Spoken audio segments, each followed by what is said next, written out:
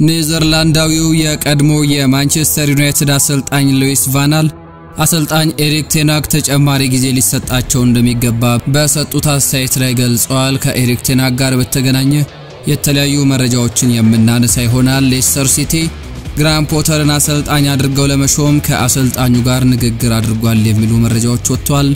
ፈረንሳይ የፊት መስመር ተጫዋች አንቷን ግሬዝማን ቡድናቸው በቀጣዩ የአውሮፓ ዋንጫ ጥሩ ውጤትን በማስመዝገብ ለኦሊቬ ዢሩ ጥሩ ሽኝት ለማድረግ እንደሚጥሩ ገልጿል።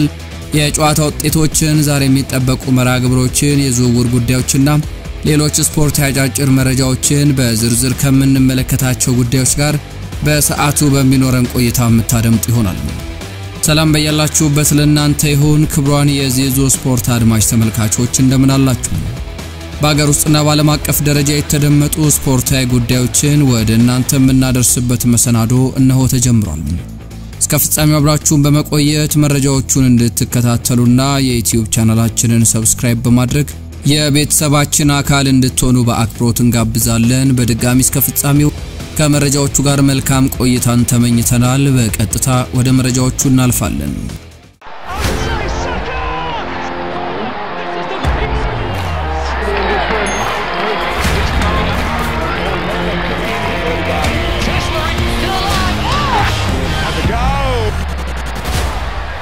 በቅድሚያም የጨዋታ ውጤቶችን እናንሳ። በትላንትናው ዕለት በዓለም ዋንጫ ማጣሪያ ጨዋታ እንዲሁም ደግሞ በአቋም መለኪያ ጨዋታ የተለያዩ መርሃ ግብሮች ተከናውነው ነበር። በዓለም ዋንጫ ማጣሪያ ጨዋታ በአፍሪካ ዞን ሁለት ቀሪ ጨዋታዎች የተከናወኑ ሲሆን ሁለት ቀሪ ጨዋታዎች ተከናውነው ነበር። ካሜሮን በሜዳዋ ኬፕ ቨርድን አስተናግዳ አራት ለአንድ በሆነ ውጤት ስታሸንፍ፣ ጋምቢያ ደግሞ ሲሸልስን ባስተናገደችበት ጨዋታ አምስት ለአንድ በሆነ ሰፊ ውጤት ማሸነፍ ችላለች። በ international የአቋም መለኪያ ጨዋታ የክርስቲያኖ ሮናልዶ ፖርቹጋል በሜዳዋ ክሮሺያን አስተናግዳ ሁለት ለአንድ በሆነ ውጤት ተሸንፋለች። ለፖርቹጋል ዲያጎ ጆታ ጎል ሲያስቆጥር ለክሮሺያ ደግሞ የሪያል ማድሪዱ አንጋፋ ተጫዋች ሉካ ሞድሪች እንዲሁም ደግሞ ቡድሚር ጎሎችን አስቆጥሯል። ክርስቲያኖ ሮናልዶ በትላንት ምሽቱ ጨዋታ ላይ ምንም እንኳን በስብስብ ውስጥ መካተት ቢችልም ነገር ግን በተቀያሪ ወንበር ላይ ተቀምጦ ነበር። በሳውዲ ሊግ ከክለቡ ጋር የንጉሱ ዋንጫ የፍጻሜ መርሃ ግብርን ካከናወነ በኋላ ወደ ፖርቹጋል ብሔራዊ ቡድን የተቀላቀለው ክርስቲያኖ ሮናልዶ ከእረፍት ጋር በተገናኘ አሰልጣኙ በትላንትናው ጨዋታ ላይ እንዳልተጠቀሙትም መረጃዎች አመላክቷል። በቀድሞ የቡድን አጋሩ በሉካ ሞድሪች የምትመራው ክሮሺያ ባለሜዳዋ ፖርቹጋልን እንግዲህ ሁለት ለአንድ በሆነ ውጤት ማሸነፍ ችላለች።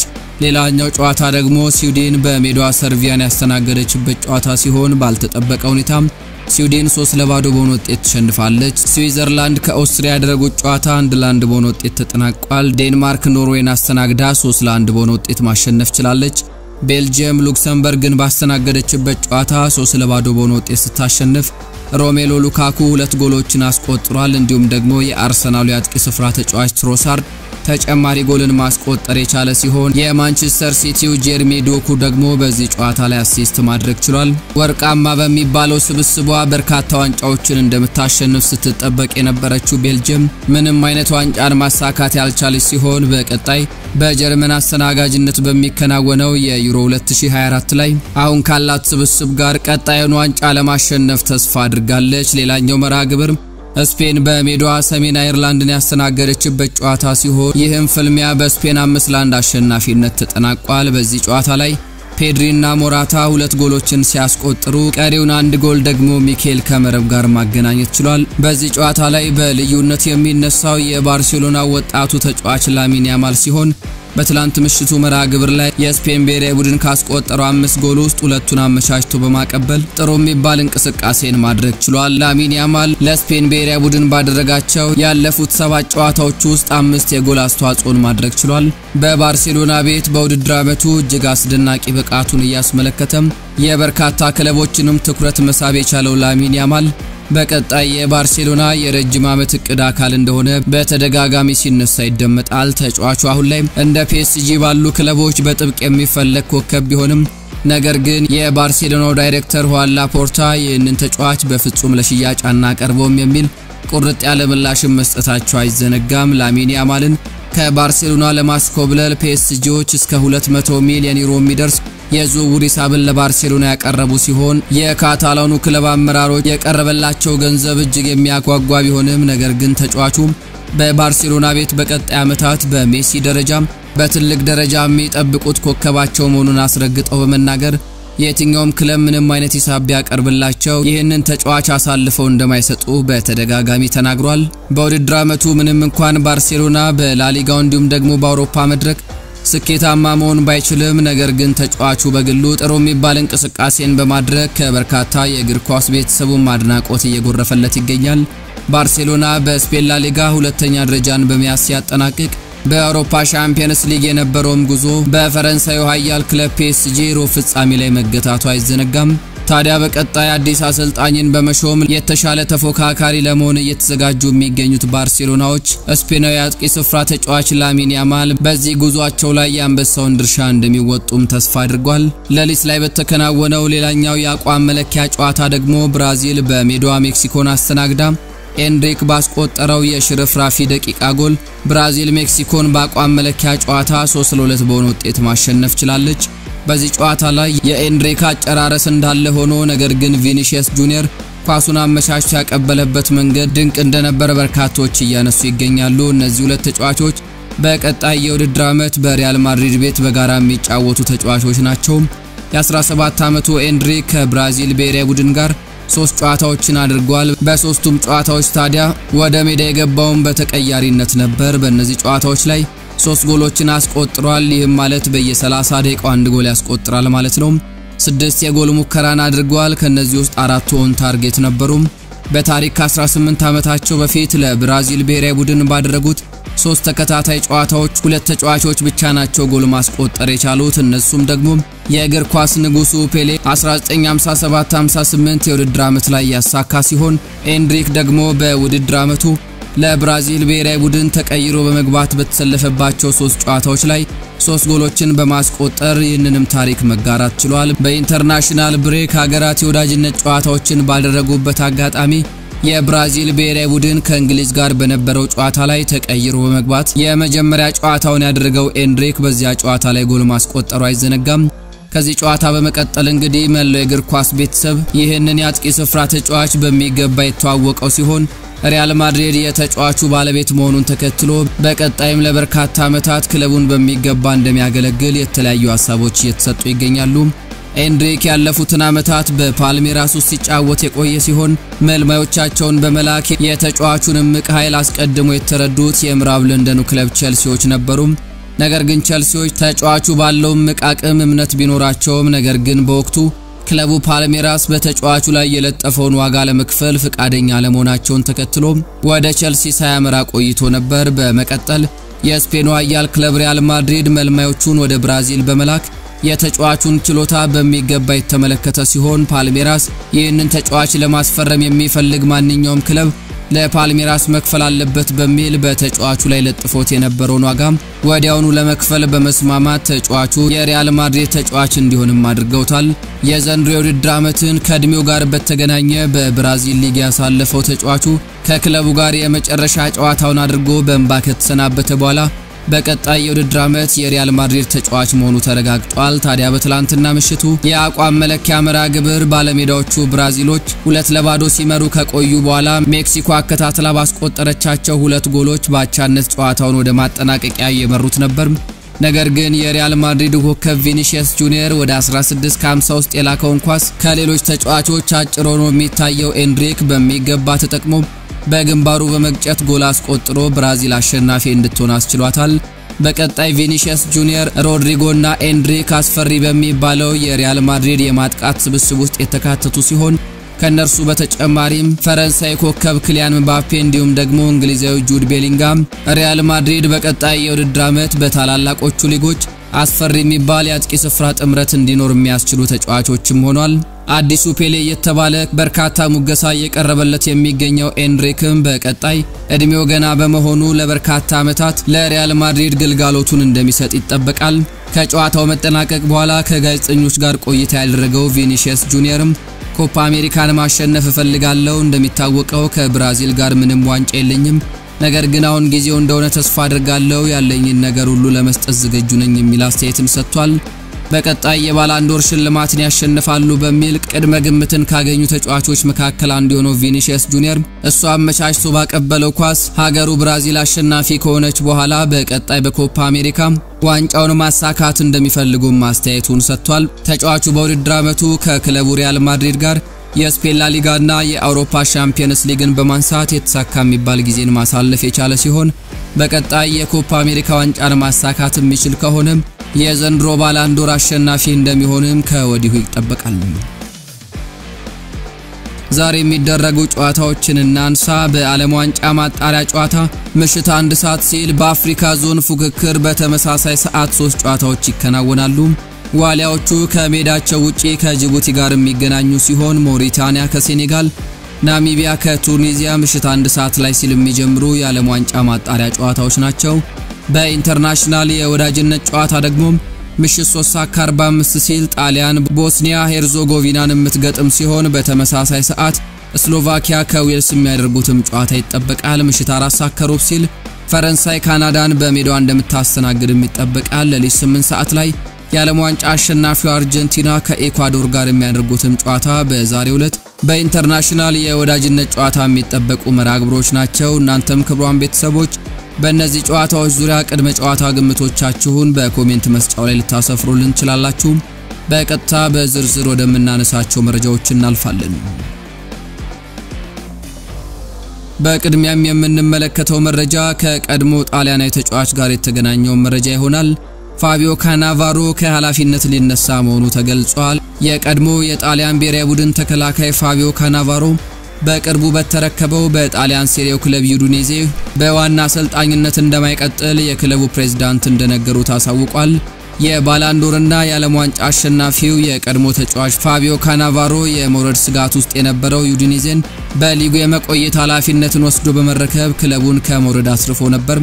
ዩዲኔዜን እየመራ የሊጉ የመጨረሻ አምስት ጨዋታዎችን ያልተሸነፈው ፋቢዮ ካናቫሮ በመጨረሻ ሰዓት የሰበሰባቸው ዘጠኝ ነጥቦች ክለቡን ከመውረድ መታደጋቸው ይታወሳል። ዩዲኔዜ በውድድር ዓመቱ ስድስት ጨዋታዎችን ብቻ ማሸነፍ ሲችል ሁለቱ ድሎች የተገኙት ፋቢዮ ካናቫሮ በኃላፊነት በመራቸው የመጨረሻ አምስት ጨዋታዎችም ነበር። ምንም እንኳን አሰልጣኙ ክለቡን ከመውረድ ስጋት ቢገላግለውም በቀጣይ ግን በክለቡ አሰልጣኝነት እንደማይቀጥል የክለቡ ዳይሬክተር እንደነገሩትም አሳውቋል።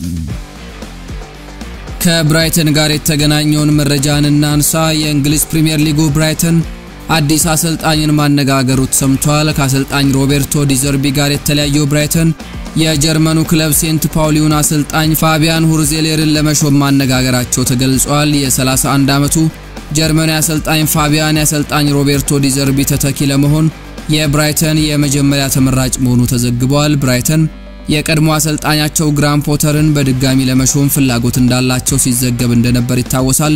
ነገር ግን አሁን ላይ በዚህ ሂደት ላይ እየወጡ የሚገኙ መረጃዎች ግራም ፖተር ወደ ቀድሞ ክለባቸው መመለስ እንደማይፈልጉና ሌላ ኃላፊነትን ለመቀበል እያሰቡ ስለመሆናቸው የሚጠቁሙ መረጃዎች በስፋት እየወጡ ይገኛሉ። ይህንንም የተመለከቱት ብራይተኖች የሮቤርቶ ዲዘርቢ ተተኪ በመሆን ጀርመናዊ አሰልጣኝ በቀጣይ የውድድር ዓመት ቡድኑን እንዲረከቡ የተለያዩ ጥረቶችን እያደረጉ እንደሆነ ተዘግቧል። ከኤሪክ ቴናግ ጋር የተገናኘውን መረጃን እናንሳ። ቫንሃል ቴናግ ተጨማሪ ጊዜ ያስፈልገዋል የሚል አስተያየታቸውን ሰጥቷል። ኔዘርላንዳዊው የቀድሞ የማንቸስተር ዩናይትድ አሰልጣኝ ሉዊስ ቫናል አሰልጣኝ ኤሪክ ቴናግ ተጨማሪ ጊዜ ሊሰጣቸው እንደሚገባ በሰጡት አስተያየት ገልጿል። አሰልጣኝ ሉዊስ ቫናል በንግግራቸው ኤሪክ ቴናግ ተጨማሪ ጊዜ ያስፈልገዋል፣ እኔም ያስፈልገኝ ነበር፣ ከዓመታት በኋላ ኤፍ ኤ ካፕ አሸንፌ ነበር ቴናግ መባረር ያለበት አይመስለኝም ሲሉ አስተያየታቸውን ሰጥተዋል። በማንቸስተር ዩናይትድ ቤት የአሰልጣኝ ሰር አሌክስ ፈርጉሰን መንበርን ከተረከቡ አሰልጣኞች መካከል አንዱ እንደነበሩት የሚታወሰው ሉዊስ ቫናል ቴናግ በዩናይትድ ቤት የሚቀጥልበት እድል ይሰጠው የሚል አስተያየታቸውን ቢያነሱም ነገር ግን በርካታ መረጃዎች የኤሪክ ቴናግና የማንቸስተር ዩናይትድ እህል ውሃ እንዳበቃለትም እያመላከቱ ይገኛሉ። ምንም እንኳን ክለቡ ማንቸስተር ዩናይትድ ከአሰልጣኙ ቆይታ ጋር በተገናኘ በይፋ የገለጸው መረጃ ባይኖርም አሁን ላይ በዝግ እየተከናወነ የሚገኘው የክለቡ አመራሮች የውድድር ዓመቱን የተመለከተ ግምገማ ሲጠናቀቅ ከአሰልጣኝ ኤሪክ ቴናግ በተጨማሪ የበርካታ ተጫዋቾች የወደፊት ቆይታን በተመለከተ የተለያዩ ውሳኔዎች እንደሚተላለፉ ይጠበቃል። ታዲያ አሁን ላይ በክለቡም ሆነ በአሰልጣኙ በኩል በይፋ የተገለጹ መረጃዎች ባይኖሩም በትላንትናው ዕለት ባነሳነው የፋብሪዚዮ ሮማኖ ዘገባ መሰረት ማንቸስተር ዩናይትዶች ቶማስ ቱሄል የኤሪክ ቴናግ ተተኪ እንዲሆኑ በውስጥ መደራደራቸውን የሚጠቁሙ መረጃዎች መውጣታቸውም አይዘነጋም። ታዲያ አሁን ላይ በማንቸስተር ዩናይትድ ቤት የመቆየታቸው አሊያም ደግሞ የመሰናበታቸው ነገር ያልተረጋገጠው አሰልጣኝ ኤሪክ ቴናግ ከቀናት በኋላ በሚጠናቀቀው የክለቡ ግምገማ ውሳኔ የሚያገኙ ሲሆን በማንቸስተር ዩናይትድ ቤት የመቆየታቸው ነገር ከተረጋገጠ በክረምቱ የተጫዋቾች የዝውውር መስኮት በንቃት እንደሚሳተፉም ዘገባው ገልጿል።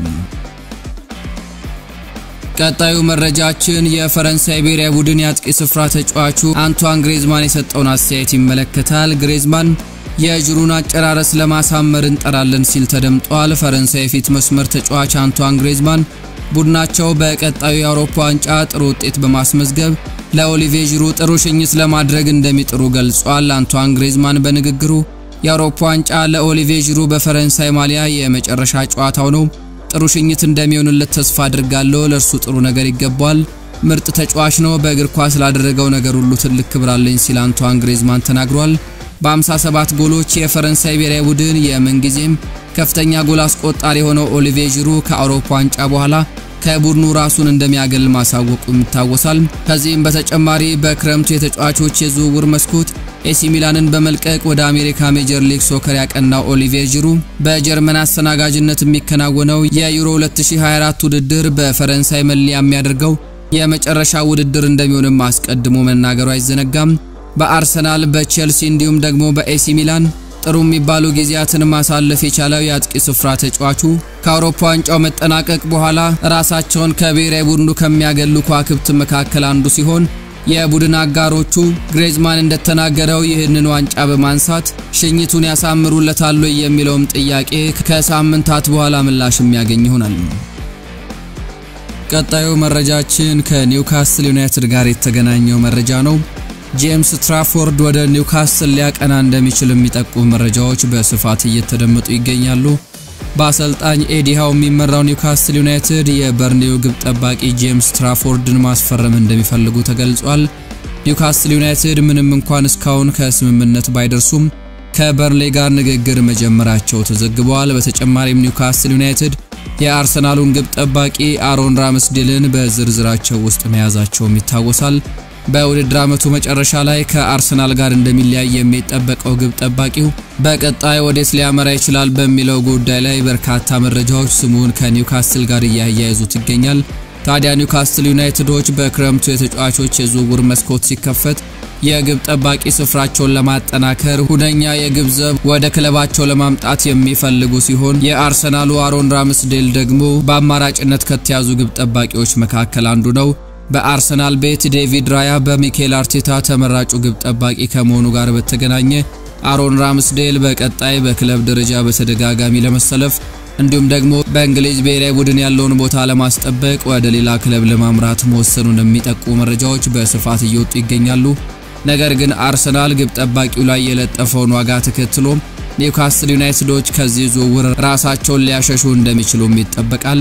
አሁን ላይ ከአሮን ራምስዴል በተጨማሪ ኒውካስል ዩናይትዶች ከበርሌው ግብ ጠባቂ ከጄምስ ትራፎርድ ጋር ስማቸው እየተያዘ የሚገኝ ሲሆን በቀጣይ ነገሮች በታሰበው ደረጃ ከቀጠሉና በግብ ጠባቂውና በክለቡ መካከል አስፈላጊ የሚባሉ ስምምነቶች ከተፈጸሙ ኒውካስል ዩናይትዶች ከአሮን ራምስዴል ይልቅ ይህንን ግብ ጠባቂ በክረምቱ ወደ ስብስባቸው እንደሚያካትቱ ይጠበቃል።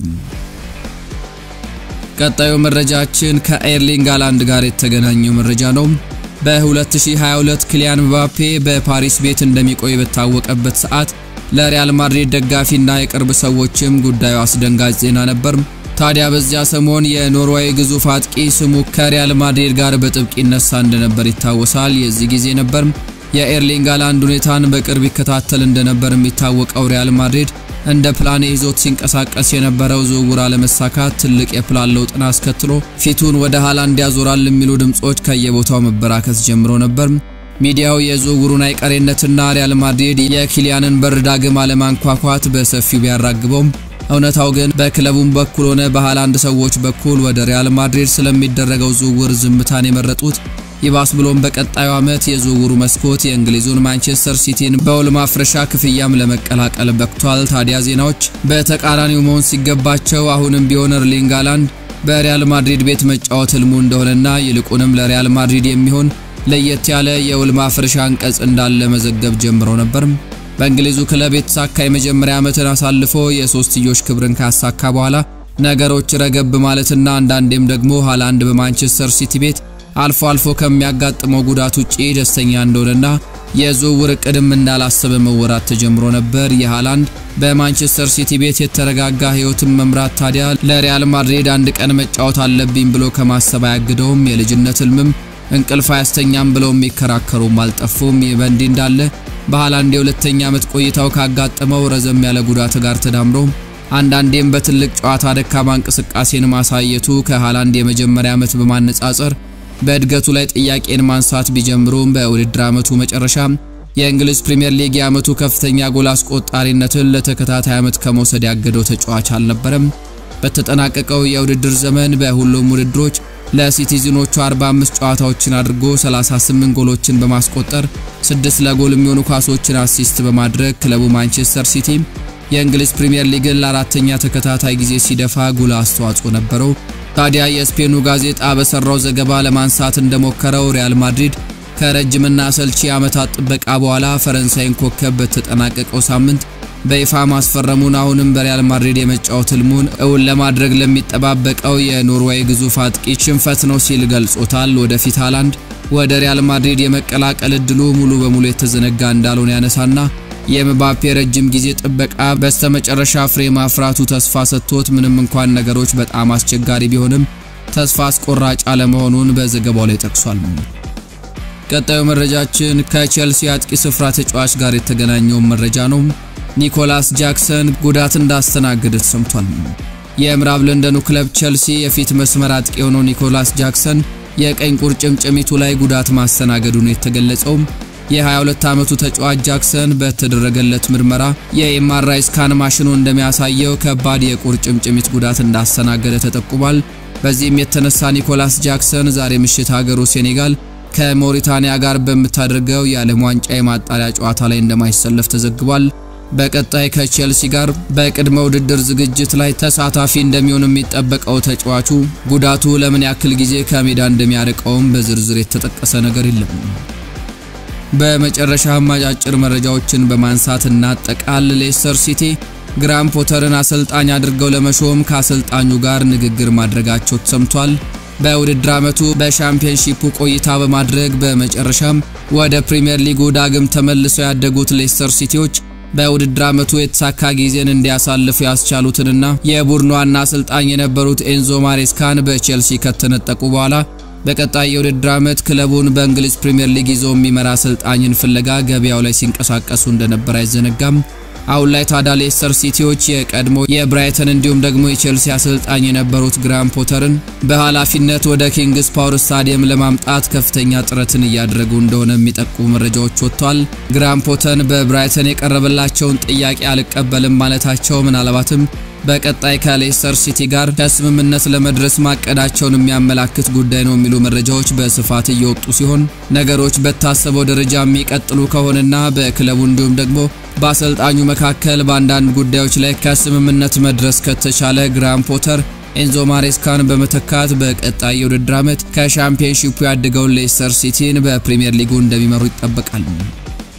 ከማንቸስተር ዩናይትድ ጋር የተገናኘውን ጉዳይ ስንመለከት ደግሞ ዩናይትዶች የቤኔፊካው አማካይ ጆዋው ኔቪስን ለማስፈረም ለሁለተኛ ጊዜ የዝውውር ጥያቄ ሊያቀርቡ መሆኑ ተሰምቷል። በዩናይትድ የዝውውር ራዳር ውስጥ ትልቅ ግምት ሰጥቷቸው ከፍተኛ ክትትል ከሚደረግባቸው ተጫዋቾች መካከል አንዱ የሆነው የቤኔፊካው አማካይ ጆዋ ኔቪስ በቀጣይ የውድድር ዓመት በማንቸስተር ዩናይትድ መለያ እንዲጫወት የዩናይትድ መልማዮች የተቻላቸውን ጥረት እያደረጉ እንደሆነ የተዘገበ ሲሆን በቀጣይ የአሰልጣኙ እንዲሁም ደግሞ የአንዳንድ ተጫዋቾች ቆይታን ይፋ እንደሚያደርገው የሚጠበቀው የክለቡ አመራሮች ግምገማም ከተጠናቀቀ በኋላ ዩናይትድ በዚህና በሌሎች ዝውውሮች ላይ በስፋት እንደሚንቀሳቀስ ይጠበቃል።